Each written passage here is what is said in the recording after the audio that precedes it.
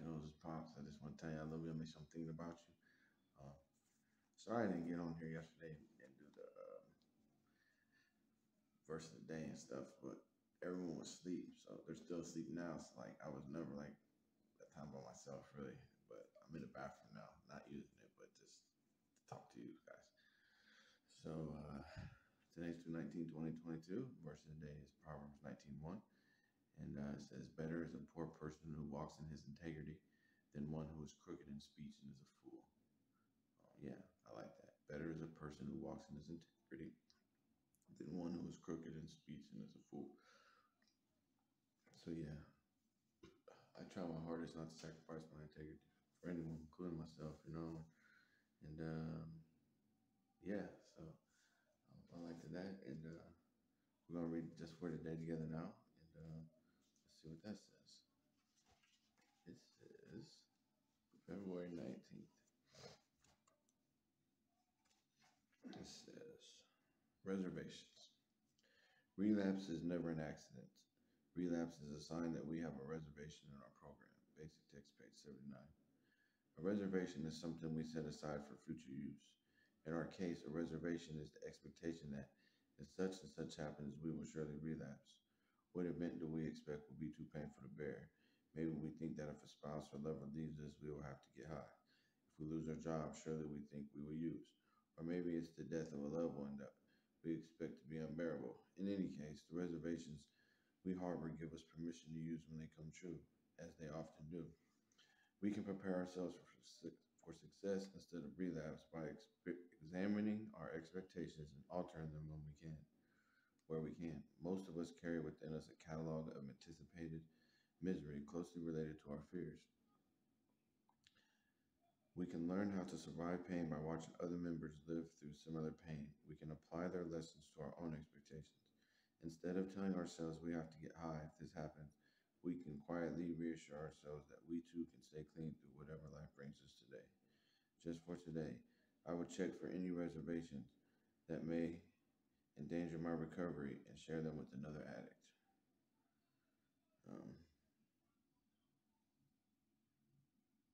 I don't, yeah, I don't have any uh, reservations um, on on on dope kiddos. Um,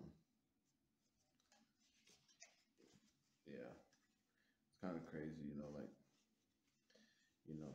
Um, I don't know how can I. I'm trying to think of how I can explain it, kiddos. Um, there's nothing good enough, bad enough in my life forever that will make me want to do dope again. You know, um, at least at this time, you know, and hopefully that's, you know, it's gone. The obsession's gone forever. I hope, you know, but um, I know I suffer from the disease of addiction. It's powerful, and um, I'm powerless over it It's cunning and liar and all that good stuff, all the negative stuff. That's what the disease is. But uh, so you know, yeah, um, I'm just blessed um, all the way around the board, and um, I just know that whatever I go through in life or whatever experiences and, um, that I'm faced with in life, man, I just got to get through it with God, my higher power.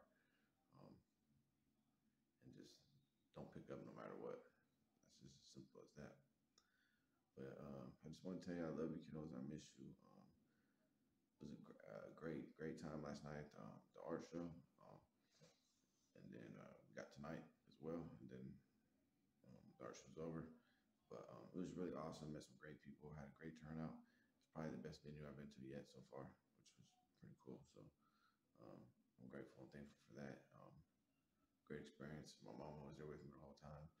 Uh, my son his girl got to come. You know, that was awesome. So it's really, really cool, kiddos. So, yeah, I love all you kiddos from, yeah, all of, all of you, all seven of you kiddos.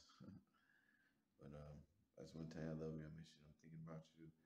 And uh, I'm about to go write my journal, text my sponsor, call my sponsor or something. And uh, yeah. So I just, I love you, kiddos, and I miss you, and I'm thinking about you, and God bless. Oh yeah, I forgot to show you, kiddos, what I got you, right? So I got you guys a Little gift. Sticker butt, Emma. I got you. Um, this little, little red monkey. It's in Chicago. Mm, King Papa. Kaden, I got you. It's little football. It's in Chicago. Got the little baseball before too, football. Hopefully you like some type of sports. I just want to share that with you guys. So we'll add those to the collection. Love you kiddos. I miss you and think about you. God bless. What's up, kiddos? It's Pops. I just want to tell you I love you. I miss you. I'm thinking about you. Um, I'm out here in uh, Chicago still at the art show. And uh, yeah, so um, this is day two and just getting started. Um, that sort of thing. So, see, everybody just now getting setting stuff up. But uh, yeah, I love you. I miss you. I'm thinking about you. And God bless you. Grandma's back there on her phone. Say hi, mom. She said, hey. Anyways, I love you uh, kiddos, and uh, God bless you. Morning, kiddos. It's Pops. Just want to tell you I love you. I miss you. I'm thinking about you. Uh, it's 220, 2022. The verse of the day is Proverbs 20, 24. It says, A man's steps are from the Lord. How then can man understand his way? I like that. Man's steps from the Lord. How then can man understand his way? So, yeah.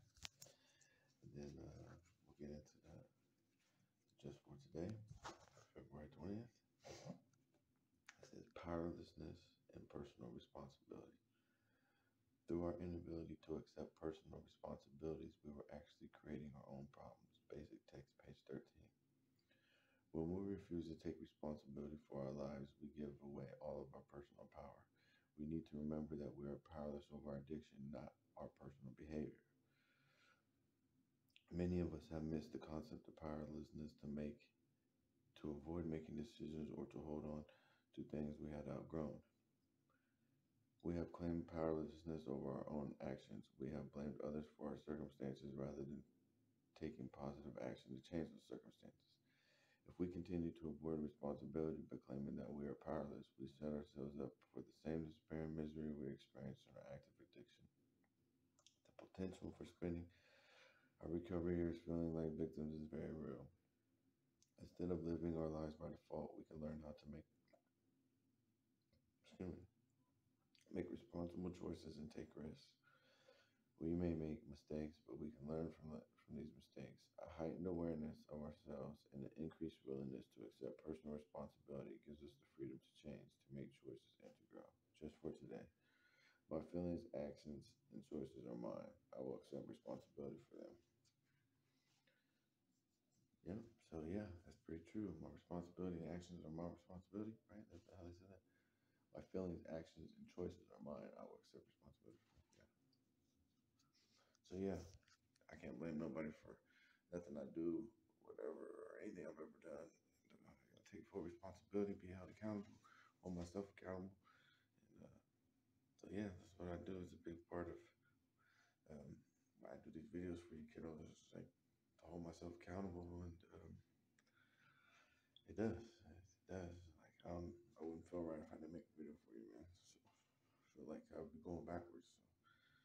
So I gotta keep chucking it, keep pushing it, and make sure I keep striving push forward and become a better person than what I was the day before.